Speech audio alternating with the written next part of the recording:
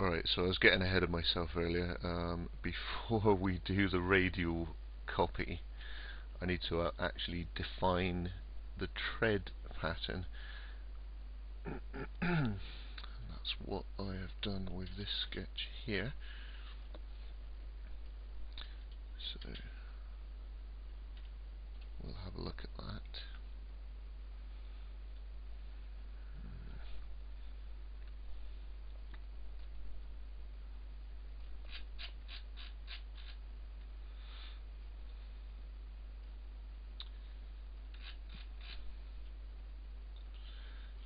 So what I did with this sketch was I kept the the tire uh, cross-section sketch visible. So you can toggle visibility by highlighting the part and pressing spacebar.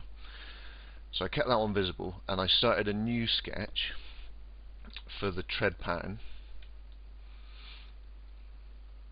And uh, and I used a few construction lines so I've put a circle and turned that into a construction line at 50 uh, millimeters and then another one at 55 so that covers the um, you know the, the 55 mil total height of the tire and uh, a couple of extra construction lines here to actually why have I used those? I can't remember. But um, uh, there's a vertical construction line uh, through the center of the sketch. So and I have used this time the symmetry constraint on all the points of the tread. So you can see these symmetry lines here. So that is symmetrical with that. So basically it makes the tread pattern symmetrical. And then um, because I've kept the sketch for the tyre visible, I can make sure that the base of these tread blocks are inside the tyre profile um, so that when when you um, create the radial array of these uh, that you don't see anything sticking out through the wrong side of it. So yeah, and I've used to get these points to stick to the construction line circle I've used a coincident constraint. And all of the angles here are set to 85 degrees. Just basically made made something that looks reasonably like a tread pattern. You know as I say just have a go yourself and see what you come up with really. So that's the second sketch. And that's for the tread pattern and then what I did to that was create a pad from it. So if I if I just delete this pad. No that's not a good idea actually. So yeah I just use this tool here the um, pad a selected sketch. Um, so you just you select the sketch click pad and it will give you some options for distance.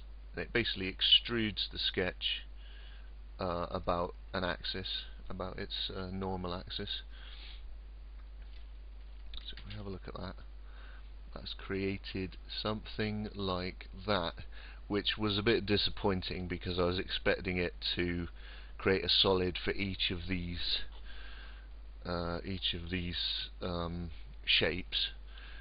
Uh, but it's a bit of a little glitch with FreeCAD. Maybe it will get sorted out soon hopefully but excuse me if you're really desperate to get a pattern for all of these shapes um, I think a workaround would be to create a separate sketch for each of the shapes and then pad each sketch separately. But I haven't really got time here so I'm just gonna do the demonstration with just the one just the one shape. So back to the radial copy script and on Salkson's Tuxton2's blog, um, he's written some instructions here about how he used the script. So here's the. Uh, let's get this so we can see it all. Here's the instructions.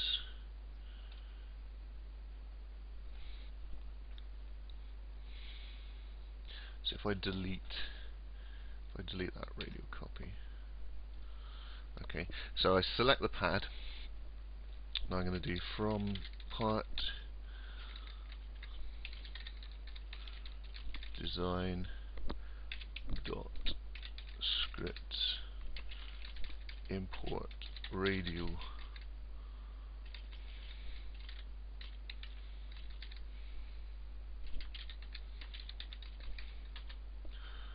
Then select uh, select the object. Yep done that.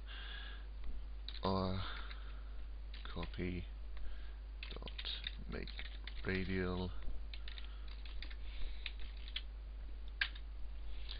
So that's done. And now so that we can view it we have to uh, tell the view to recompute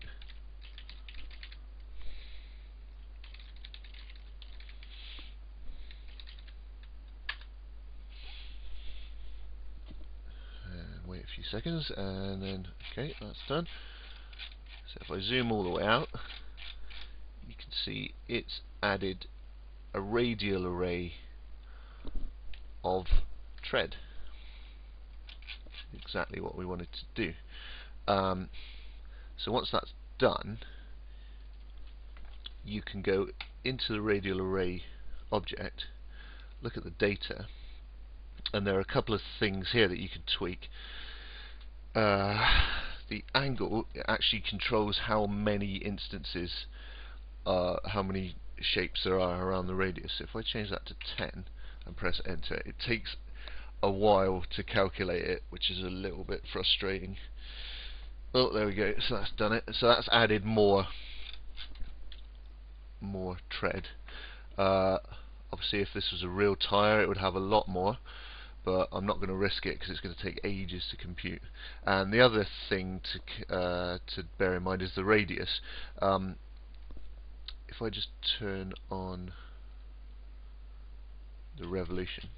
Yeah, there we go. Uh, let's change that. No, we don't need to change that. Um, if I had, yeah, like here, the blocks are actually sticking out through the back, I could adjust the radius so I could move them in this direction so they're not sticking out basically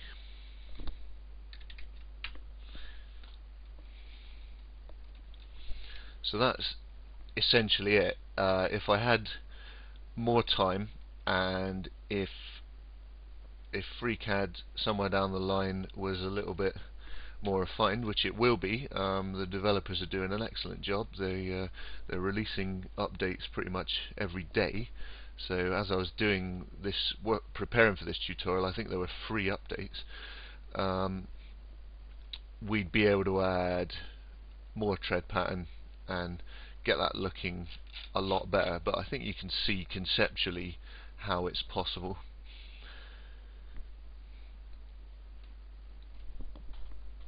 uh, and the only other thing if you really want to if we go into the part workbench highlight the revolution and highlight the radial copy whoops sorry hold down control and click on it. So we've highlighted both of them. Then we can do a boolean operation, do a union and apply, and that will create another part which is the union of these two parts. It's just something you would do at a later date when you're happy with the shapes.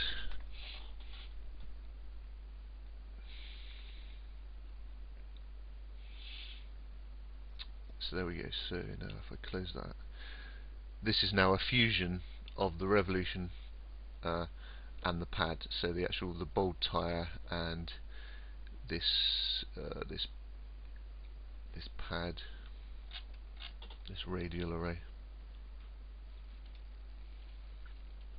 So when I click on it, it highlights the whole object.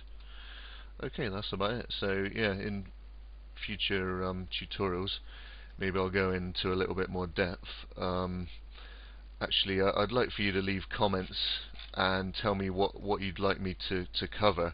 Um, do you want me to go back over what I've done and cover it in more detail, or shall I move on and try and cover some more features of FreeCAD and create some more bike parts?